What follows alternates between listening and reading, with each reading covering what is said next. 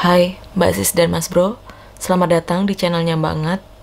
Hari ini akhirnya adalah episode kedua dari Ngatini Story yang udah lama banget vakum.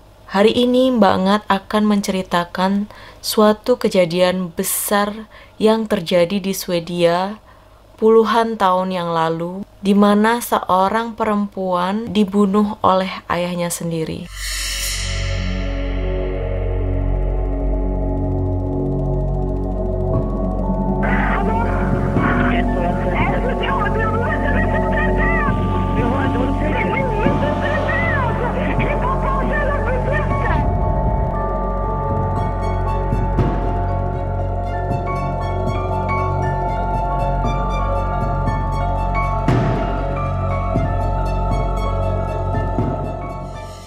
Sebelum masuk ke ceritanya, Mbak Ngat mau ngasih tahu dulu kenapa Ngatini Story itu berhenti. Semula Mbak Ngat itu suka sama kejadian atau cerita-cerita kriminal. Cuman setelah punya anak, Mbak Ngat itu ngerasa kayak takut gitu, terus kayak makin posesif. Gimana kalau seandainya aku yang ada di posisi cerita itu gitu. Jadi kayak takut gitu. Dan rasanya setelah punya anak ini baru menyadari bahwa storyteller storyteller yang selama ini banget dengerin detektif Aldo atau mungkin Nadia Omara atau storyteller yang lainnya mereka ternyata belum punya anak gitu.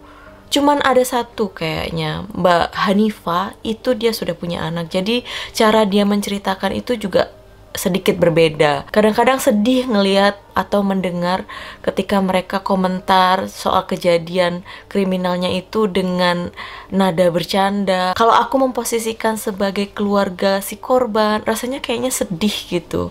Aku pasti tersinggung kalau misalnya itu adalah keluargaku. Makanya banget setelah punya anak mulai do not recommend kejadian-kejadian kriminal bener-bener mulai kayak ketakutan tapi kejadian kali ini adalah kejadian besar yang mungkin bisa dijadikan pelajaran buat kita semua bukan soal bagaimana terjadinya tapi lebih ke sejarah panjang sebelum terjadi kejahatan tersebut.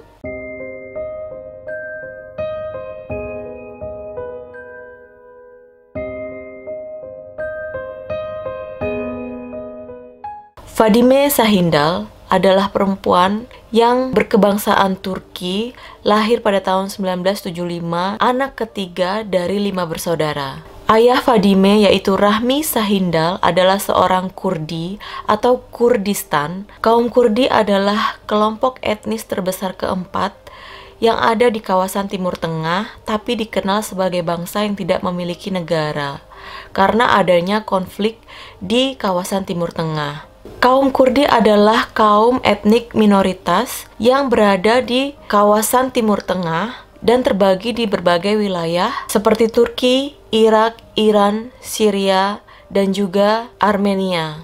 Ayah Fadime kemudian pindah ke Swedia, bermigrasi ke Swedia karena adanya konflik di negaranya. Beberapa tahun kemudian, baru keluarga dari Sahindal ini semuanya pindah ke Swedia, yaitu saat Fadime berumur 7 tahun. Dari kecil Fadime sudah mengalami kekerasan secara fisik oleh keluarganya. Kekerasan ini terjadi hanya kepada perempuan, termasuk dengan ibunya Fadime, saudara-saudara perempuan Fadime, dan Fadime sendiri. Keluarga Fadime adalah salah satu keluarga yang menganut sistem patrilineal di mana kekuasaan itu lebih kepada laki-laki. Bahkan ada kejadian saat ayahnya membelikan es krim dan hadiah tapi hanya diberikan kepada anak laki-lakinya saja.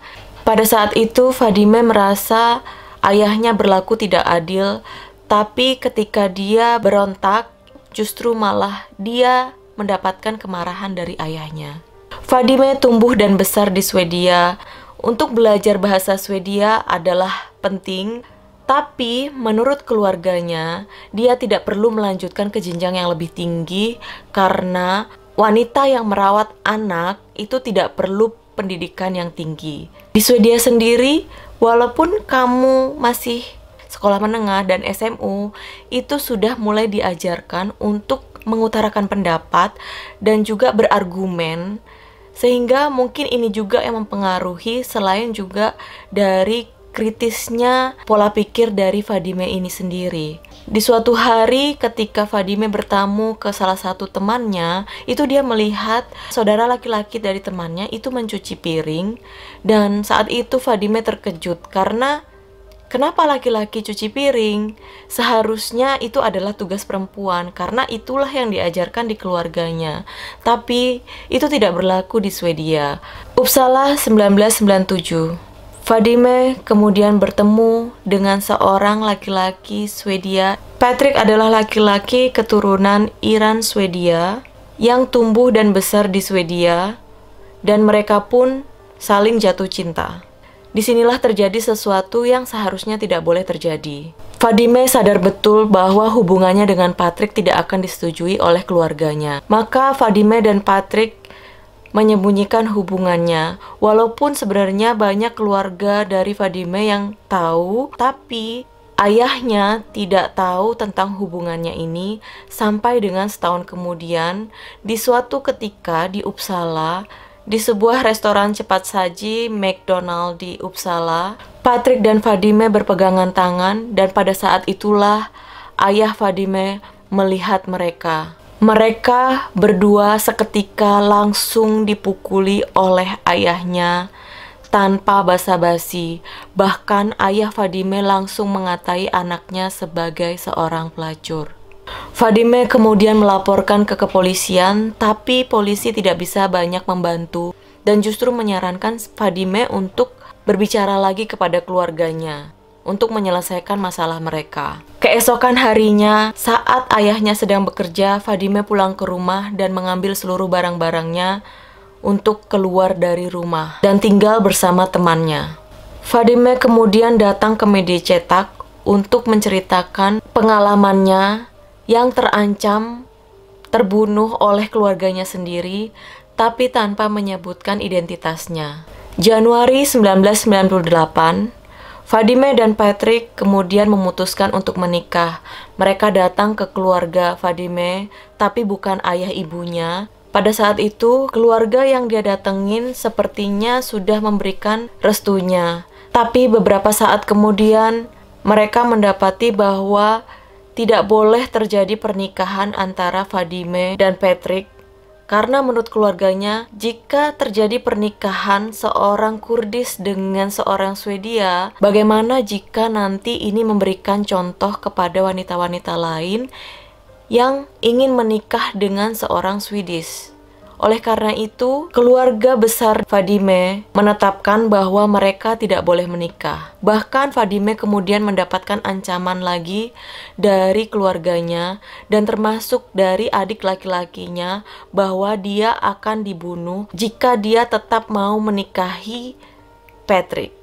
Fadime kemudian melaporkan ancaman-ancaman tersebut kepada kepolisian sampai akhirnya ada polisi yang memahami tentang permasalahan subjek penindasan dan kekerasan yang terkait dengan kehormatan. Pada saat itulah polisi tersebut memberikan alat keamanan untuk Fadime dan juga menawarkan untuk memberikan identitas baru kepada Fadime. Ancaman-ancaman itu tidak berhenti yang datang dari keluarganya, terutama dari ayah dan adik laki-lakinya. Di saat itulah Fadime mulai berpikir bahwa sepertinya untuk mengamankan dirinya justru bukan dengan bersembunyi, tapi melainkan dengan lebih terbuka lagi dan menceritakan masalahnya ini kepada publik yang lebih besar lagi. Sehingga kemudian Fadime menceritakan pengalaman ancamannya ini kepada media, tapi tanpa memberikan identitas yang palsu. Dia menggunakan wajah dan juga nama aslinya. Bahkan juga Fadime terlibat dalam video dokumenter yang dibuat oleh Public Health Agency of Sweden yang menjelaskan kehidupannya sebagai wanita Kurdis dan juga ancaman-ancaman yang diterimanya dari keluarganya. Bahkan Fadime juga merekam pembicaraannya ketika ayahnya mengancam akan membunuhnya.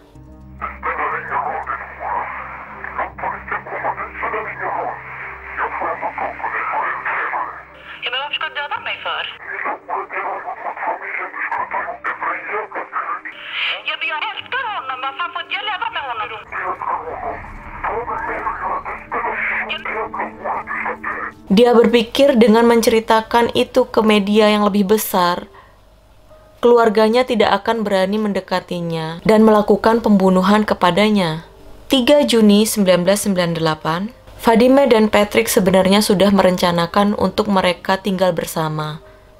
Tapi pada hari itu Patrick mengalami kecelakaan mobil. Investigasi dilakukan, tapi hasil dari investigasi ini menyimpulkan bahwa kecelakaan yang terjadi pada Patrick adalah benar-benar murni dari kecelakaan karena kecepatan tinggi. Patrick kemudian dimakamkan di Uppsala. Fadime merasa kehilangan karena pada saat itu dia benar-benar tidak memiliki siapa-siapa lagi karena keluarganya sudah meninggalkan dia dan Patrick yang dicintainya juga sudah pergi meninggalkannya untuk selamanya. Seminggu kemudian, Fadime mengunjungi makam Patrick di Uppsala. Di situlah dia bertemu dengan adik laki-lakinya. Adik Fadime langsung menghajarnya tanpa mempedulikan orang-orang yang melihat mereka. Adik Fadime kemudian ditangkap oleh kepolisian dan dihukum lima bulan penjara. Musim panas 1998 melalui teman dekat Fadime yang saat itu tinggal bersama yaitu Nanin Pekgul yang juga seorang Kurdis berusaha menjadi perantara antara Fadime dengan keluarganya. Namun melalui Nanin Pekgul ayah Fadime memberikan ultimatum bahwa Fadime tidak boleh mendatangi Uppsala lagi kalau Fadime ingin selamat. 1999, Fadime kemudian pindah ke Sunval dan melanjutkan studinya di sosionom. Di tahun yang sama, seorang wanita Kurdis bernama Pela Atroshi dibunuh oleh paman dan ayahnya ketika dia berlibur musim panas dan pulang ke kampung halamannya di Irak. November 2001, Fadima diundang ke gedung parlemen di Swedia untuk menceritakan kisah hidupnya untuk memberikan pengetahuan kepada masyarakat dan kepada kalayak yang lebih luas lagi. Fadima berbicara dalam sebuah seminar tentang integrasi wanita di Swedia. Fadima menceritakan semua pengalamannya tentang penindasan dan kekerasan yang terkait dengan kehormatan. 21 Januari 2002 Fadime sudah hampir menyelesaikan studinya sebagai sosionom. Dia berencana untuk melakukan praktik selama enam bulan di Kenya. Dan pada saat itulah dia merasakan kerinduan yang sangat besar terhadap keluarganya, sehingga diam-diam dia menghubungi adiknya dan kakaknya untuk bertemu dan melakukan perpisahan sebelum dia berangkat ke Kenya. Dalam perjalanannya ke Stockholm, Fadime mampir ke Uppsala dan mendatangi apartemen kakaknya. Pada malam itu, akhirnya mereka berkumpul dan kemudian mencoba menghubungi ibu dari Fadime. Mereka berbicara dengan bahasa-bahasa kode rahasia karena khawatir ayah dan adik laki-lakinya mengetahui rencana tersebut. Tapi sebenarnya mereka tidak tahu bahwa adiknya menangkap gelagat aneh dari ibunya sehingga dia mengetahui ada sesuatu yang tidak beres yang direncanakan oleh ibunya saat ibunya menerima telepon.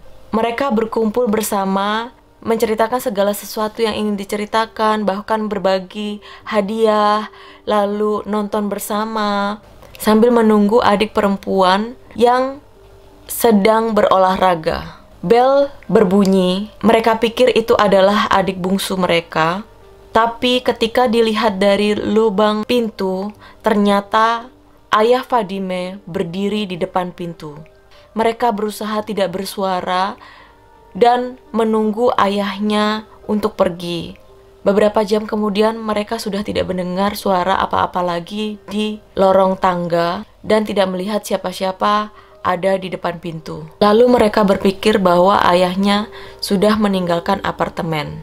Lalu bel pintu berbunyi kembali. Mereka berpikir bahwa itu adalah adik perempuannya yang baru datang dari gym. Fadime buru-buru membuka pintu, tapi ternyata itu bukanlah adiknya, melainkan ayahnya sudah berdiri di depan pintu sambil membawa senjata api dan kemudian ayahnya menarik rambut Fadime dan menembakkan dua peluru ke kepala Fadime. Fadime meninggal dalam tembakan pertama.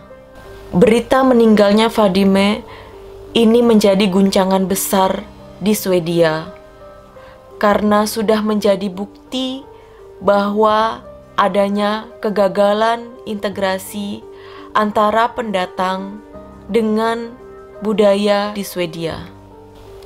Pada saat ayah Fadime ditangkap, dia menyatakan bahwa Fadime itu adalah masalah.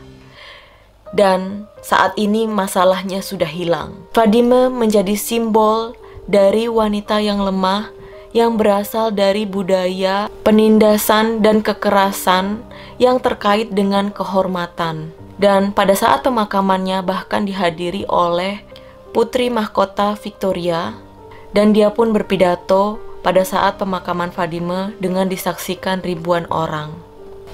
Fadime menjadi contoh dari kegagalan integrasi dan menunjukkan bahwa keluarga itu lebih besar daripada negara, di mana ternyata kekuatan keluarga itu lebih tinggi daripada kekuatan yang ada di negara. Seorang perempuan tidak bisa memiliki apa yang dia inginkan dan dia harus memilih antara keluarga atau kehidupannya.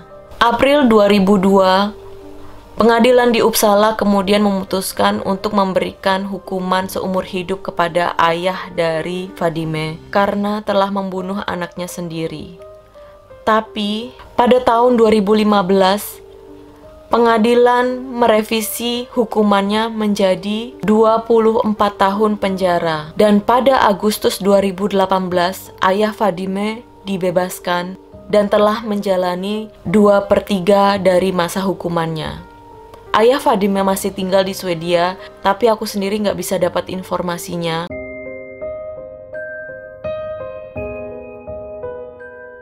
Itu dia adalah kisah dari Fadime, sebuah kejadian besar yang menggemparkan seluruh Swedia karena Fadime sudah sempat berbicara di gedung parlemen. Dia adalah seorang perempuan yang kuat, yang juga kritis. Fadime berjuang untuk menjalani apa yang dia inginkan untuk hidupnya. Dia menolak untuk menjalani pernikahan yang direncanakan dan menikahi sepupunya dan memilih untuk menjalani hidup dengan seorang laki-laki Swedia namun tetap berakhir tragis dengan meninggalnya pasangannya dia tidak bisa menjalani kehidupan yang dia inginkan sambil memiliki keluarganya sampai akhirnya dia meninggal di tangan ayahnya sendiri. Sebenarnya di tahun 1996 itu sudah terjadi pembunuhan pertama yang berkaitan dengan kaum Kurdis ini yaitu seorang wanita bernama Sarah. Sarah berusia 15 tahun yang dibunuh oleh saudara laki-lakinya dan juga sepupunya dan kemudian ditinggalkan di salju. Jadi sudah ada tiga wanita Kurdis yang pada saat itu diketahui telah terbunuh. Yang kedua yaitu adalah Pela Atrosi yang tadi aku bilang. Setelah meninggalnya Pela ini, muncullah organisasi non-profit yang semula bernama Glom Aldrich Pela. Tapi kemudian setelah kematian Fadime, organisasi ini berubah menjadi Glom Aldrich Pela Ok Fadime. Organisasi ini berdiri berdasarkan deklarasi dari PBB di tahun 1948. Ini akan aku bacakan apa isi deklarasinya, yaitu deklarasi yang menyatakan bahwa tidak ada manusia yang dapat didiskriminasi berdasarkan jenis kelamin, ras, warna kulit, bahasa, agama, politik, atau pendapat lain, asal kebangsaan atau sosial properti, kelahiran, atau status lainnya. Setiap orang berhak atas kehidupan, kebebasan, dan keamanan pribadi. Tidak seorang pun boleh menjadi sasaran penyiksaan atau perlakuan atau hukuman yang kejam, tidak manusiawi, atau merendahkan martabat. Wanita dan pria dewasa berhak untuk menikah dan membentuk keluarga tanpa batasan ras, kebangsaan, atau agama. Perkawinan hanya dapat dilakukan dengan persetujuan bebas dan penuh dari calon pasangan. Ini benar-benar menarik banget aku bahas dan aku ceritakan karena sebenarnya ini juga ada unsur pengalaman pribadi ya. Karena di mana aku tuh pernah ngerasain mungkin agak kemarahan, ada kemarahan karena eh, gimana orang itu tidak bisa bersatu hanya karena perbedaan selain perbedaan agama Ternyata juga perbedaan suku itu bisa membuat orang tidak bersatu. Tapi itu dulu ya. Di mana waktu itu merasakan kayak kemarahan kepada kondisi yang ada. Sekarang sih sebenarnya sudah move on. Cuman memang kayak masih ada uh, ya benar ini adalah suatu problem mungkin buat orang-orang yang mungkin mengalami atau pernah di posisi yang sama gitu. Di Swedia sendiri juga sebenarnya masalah disintegrasi ini adalah masalah yang paling umum terjadi di Swedia karena memang banyak sekali pendatang yang berasal dari kawasan Timur Tengah. Jadi memang laki-laki itu adalah ordinate dan perempuan itu adalah subordinate. Sementara di Swedia sendiri adalah menganut kesetaraan gender. Nah, karena banyaknya problem-problem disintegrasi ini, banyak juga organisasi-organisasi di Swedia yang berusaha mengintegrasikan antara pendatang dengan penduduk lokal. Jadi aku sendiri juga tergabung, maksudnya ikut serta, ikut berpartisipasi dalam sebuah organisasi non-profit yang tujuannya untuk kayak integrasi antara pendatang dengan warga asli Swedia. Nah, di sini aku ketemulah sama seseorang. Jadi kayak dipasangkan gitu loh. Oh, kamu tipikalnya kayak gini nih. Terus dipasangkan dicarikan sama orang yang mungkin uh, mirip gitu kan. Maksudnya dengan karakter yang mirip dipertemukan untuk orang asli Swedia ini membimbing aku ini loh ngasih tips-tips tentang Swedia, bertukar informasi, bertukar uh, kebudayaan. Nah, pada saat aku ketemu sama temanku ini, aku sedang tertarik banget sama ceritanya Fadime. Jadi, pada saat kita coba bertukar culture, itu aku coba ceritain aku nih lagi tertarik nih dengan Fadime menurut kamu gimana? Aku pengen tanya dari sisi orang Swedia gitu kan. Tapi ternyata istrinya dia adalah seorang Kurdis juga. Jadi bener-bener aku ngerasain kayak, ya ampun Swedia itu sempit ya. Di situlah aku ngerasa, wah ternyata benar-benar ada wanita Kurdis yang menikahi laki-laki Swedia gitu.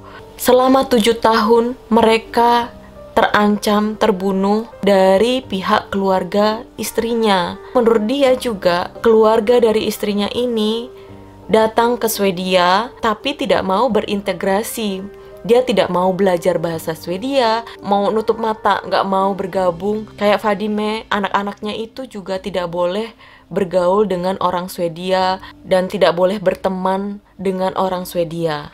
Jadi menurutku ini menarik banget karena ternyata aku malah menemukan orang yang benar-benar ada kaitannya secara langsung dengan ceritaku ini. Cerita yang bikin aku tertarik banget sampai aku tenggelam berminggu-minggu untuk mencari informasi lebih banyak.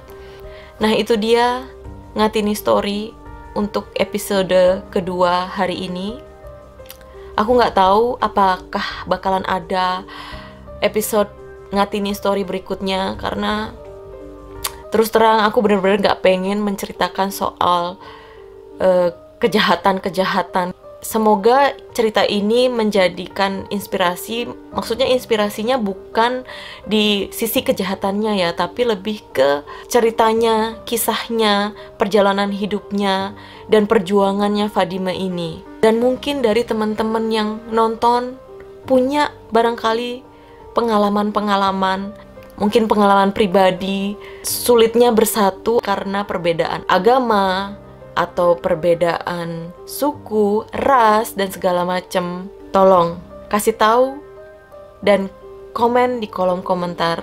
Bagikan cerita ini ke teman-teman kalian dan bagikan juga kepada wanita-wanita kuat yang berjuang untuk hidupnya. Sampai jumpa di video berikutnya. Hedo.